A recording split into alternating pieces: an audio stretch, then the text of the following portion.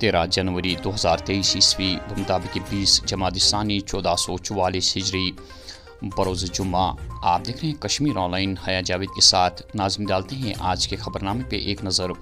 कल देर गए ज़िले पुंछ के सूरनकोट इलाके में नौ साल अफरान अहमद, जो गोली लगने से ज़ख्मी हुआ था, आज गवर्नमेंट मेडिकल कॉलेज रजौरी में ज़ख्मों की ताब न लाकर दम तोड़ बैठा। इस सिलसिले में पुलिस ने पहले ही केस दर्ज किया है और हमला आवरों की तलाश जारी है। मरकजी वज़ीर दाखिला अमित शाह आज जम्मू पहुँचे, जहाँ से उन्हें रजौरी के डांगरी इलाके जाना था, जहाँ नामालूम बंदूक बरदारों की गोलियों से कई अफराद अजान हुए थे। लेकिन मौसम नासाजगार होने की वजह से वज़ीर दाखिला हलाक हुए, लवाकिन के साथ ताज़ियत पुरसी पर न जा सके। बाद में वज़ीर दाखिला ने जम्मू में सिक्योरिटी इंतज़ाम का आला अफसरान के साथ जायज़ा लिया। बालाई इलाकों के साथ साथ आज वादी कश्मीर में मैदानी इलाकों में भी भारी बर्फबारी देखने को मिली। अगरचे महकमे मौसमियात के माहरी ने मैदानी इलाकों में कल ही बर्फबारी की पेशन गोई की थी, ताहम आज भी उनकी पेशन गोई सही साबित ना हो सकी। चौंतीस परवाज़ों में से आज 25 परवाज़ें मनसूख कर दी गई। भारी बर्फ़ की वजह से कौमी शहरों को भी बंद कर दिया गया और रेल सर्विस भी मुअत्तल करनी पड़ी। इस दौरान डिज़ास्टर मैनेजमेंट ने 10 अजला में बर्फानी तोदे या बर्फानी तूफ़ान की पेशन गोई करते हुए लोगों से सख्त एहतियात बरतने की हिदायत दी है। माजहमा ज़िले बड़गाम में आज सुबह एक रेलगाड़ी का इंजन और एक डब्बा पटरी से उतर गया। ताहम किसी के जख्मी या हलाक होने की कोई इतला नहीं मिली। मुजफ्फर अहमद कोकरू साक ने कदल जो सोवरा में H D F C bank के ए टी एम पर बहसती सिक्योरिटी गार्ड तैनात था, आज सुबह ए टी एम के बाहर बेहोश पाया गया। अगरचे उसे फौरी तौर हस्पताल मुंतकिल किया गया, ताहम डॉक्टरों ने उसे मुर्दा करार दिया। इस सिलसिले में पुलिस ने तहकीकात शुरू कर दी है। चौंतीसवें नेशनल रोड सेफ्टी वीक के सिलसिले में आज इंस्पेक्शन रीजनल ट्रांसपोर्ट दफ्तर वाक़ा पारीमपुरा में एक मामूल के प्रोग्राम के तहत आँखों के तिब्बी कैंप का अहतमाम किया गया था। इसके अलावा ट्रैफ़िक कवानीन और हादसा से बचाव के तरीक़ेकार पर ड्राइवर हजरात को मुफसल तफसीत फराहम की गई। इस मौके पर काफ़ी तादाद में ड्राइवरों की आँखों का तिब्बी मुआयना किया गया। एडिशनल ट्रांसपोर्ट कमिश्नर और रीजनल ट्रांसपोर्ट ऑफिसर ने इस मौके पर कुछ इस तरह के ख्याल का इजहार किया। मैं एडिशनल ट्रांसपोर्ट कमिश्नर जेड के हूँ। तो आज रोड सेफ्टी वीक ग्यारह जनवरी से सत्रह जनवरी तक हम मना रहे हैं। इसमें से हमें, हमारी हदायत ये है, ड्राइवर हज़रत से ख़ास तौर कि वो अपना आई टेस्ट कराए। हमने इसी, इस बारे में हमने यहाँ एक आई कैंप यहाँ ऑर्गेनाइज़ किया है। वो तमाम ड्राइवर हजरात यहाँ आ रहे हैं। तो वो अपना वो जो आई साइट का टेस्ट करे। ऐसा देखे कि कैसी है। क्योंकि ये अक्सर बेशतर, जब ड्राइवर हजरात का आई साइट उतनी ठीक नहीं होती है तो मतलब ये एक्सीडेंट का अहमाल होता है।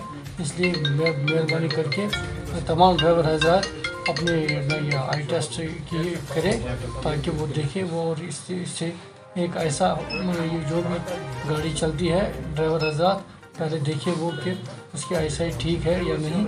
अगर ठीक ठीक है तो वो अच्छी तरह से गाड़ी चला सकता है। तो अगर कुछ डिफेक्ट है तो उसको पहले डॉक्टर के पास जाना होगा। तो तब जाके वो गाड़ी अच्छी तरह से चला सकता है। पे आई चेकअप के लिए हमने रखा हुआ है। जो भी हमारे पास फिटनेस के लिए गाड़ियाँ आ रही हैं, वो नॉन कमर्शियल कमर्शियल ज़्यादा सेगमेंट जो हमारा कमर्शियल है उनके लिए हमने ये जो है यहाँ पे आई कम्प रखा हुआ है फ्री आई कम्प है हर एक ड्राइवर का जो है इसमें आई चेकअप हो जाएगा। अगर किसी ड्राइवर को कोई प्रॉब्लम होगी we can refer for the जो उसका प्रोसीजर होगा ग्लास लगाने के लिए और कुछ लगाने के लिए वो चीज़ें वो कर सकते हैं। ओवरऑल बताइए सर अ, क्या मकसद है अ, ये एक हफ़्ता प्रोग्राम का? ये मेन जो है जो इस साल का जो मोटू है हमारा गुड्स कैरेज पे है। जो हमारी ट्रक्स या goods carriage on the road चलती हैं देखा जाता है कि ऑन जो हाईवे पे है ज़्यादा एक्सीडेंट उनका हो रहा है। उन्हीं को जो है हमने ये रखा हुआ है उनका ड्राइवर्स का चेकअप अल्कोहलिक चेकअप जो है यहाँ पे आई टेस्ट है। और जो हमने आपने ये देखा होगा कि हम येलो स्ट्रिप जो है लगा रहे थे पीछे से वो एक रिफ्लेक्टर है जब गाड़ियाँ हमारी गुड्स कैरेज रात को चलती हैं।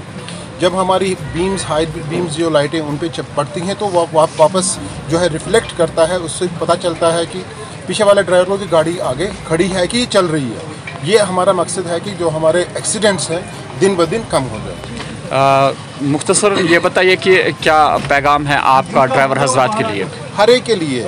पेशेंस जो हमारा है स्पीड हमारी जो गाड़ियाँ आजकल आ रही हैं हाई स्पीड पे है लेकिन अपने ऊपर जो है ये देखना है कि हम सड़क पे चल रहे हैं। हमें वापस घर जाना है। वो हमारे एम हमें होना चाहिए कि slow and steady wins the race sir, एक सवाल आपसे ज़रूर पूछेंगे कि सड़कों के एतबार से गाड़ियों के लिए चलना बहुत मुश्किल हो जाता है।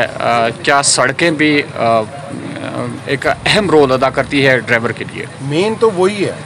जब हमारी सड़कें अच्छी होंगी तो ऑटोमेटिकली जो है, हमारी जो गाड़ियाँ हैं, उनकी लाइफ ज़्यादा बढ़ेगी वेयर एंड टीयर्स कम होंगे।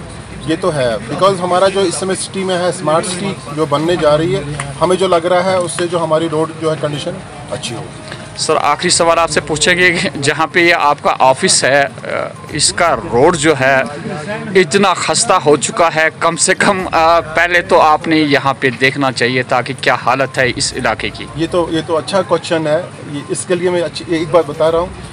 पिछली बार हमारी ड्यू काउंसिल की मीटिंग हो रही है जो ये प्लान है हमारा जो जो हमारा बस अड्डा फ्रूट मंडी है जो कंप्लीट पारिमपुरा है इसमें जो है नियर अबाउट ये आपका मॉडर्न यहाँ पे जो है आपका बस स्टैंड बस टर्मिनल बनेगा। ये आप मुझे लगता है कि जे एंड के में ये पहला होगा जो हमें देखने को आएगा। सर होप करते हैं लेकिन आज तक ऐसा देखने को नहीं मिला। नहीं इंशाल्लाह इंशाल्लाह। जिस हिसाब से हमारे जो है हमारे हायर एप्स हैं गवर्नर सर हैं हमारे या हमारी गवर्नमेंट है प्राइम मिनिस्टर सर हैं, उनके हिसाब से मुझे लग रहा है कि ये होने वाला है। बारामूला के उड़ी से इतला है कि एक जहनी मरीज़ ने दरियाई जहनम से कूद कर अपनी जान दे दी। इतला के मुताबिक 20 साल आदिल अहमद मीर, वल्द अली खान मीर साक ने दुलांजा एक जहनी मरीज़ था। खबर सुनते ही मुकामी लोग और पुलिस जाई वारदात पर पहुँची।